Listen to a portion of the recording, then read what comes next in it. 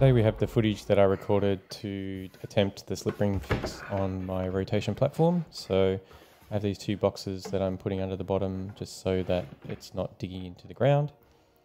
And with the 3mm hex key we need to undo these bolts as shown. Now I just will prefix that unfortunately this fix didn't work for me, uh, but uh, speaking to some people on the Yaw Discord, I'm uploading it anyway just in case it'll help someone else. So I will be moving on to doing the wireless USB. Um, and I'm pretty sure that's going to work. So that's that's good. I was already prepared to do that anyway. So this blue part is the slip ring and you'll see uh, the bolts underneath here that I'm pointing to. There's three bolts in that area and I'll just go around to the other side so you can see the connecting nuts. And what we have to do is undo and remove the top two bolts and nuts and then loosen the bottom nuts so that the slip ring can move around, which should hopefully mean that um, it doesn't disconnect in movement just because there's some flex of the rotation platform that is expected.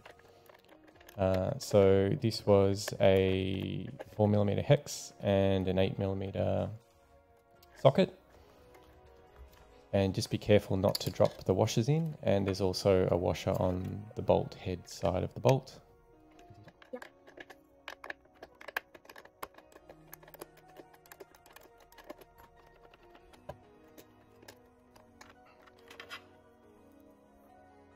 Just showing the washer there.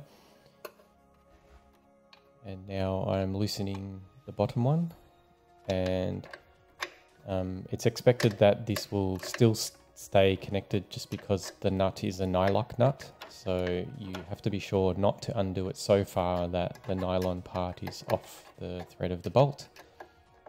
But we need to do it enough that there's see that movement between the two metal pieces. Uh, this allows that flexion to occur.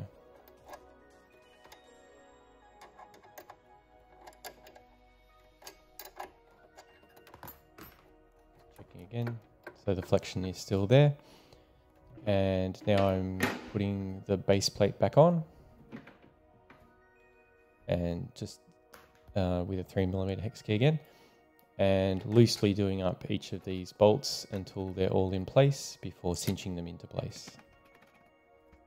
And also being careful not to over torque them.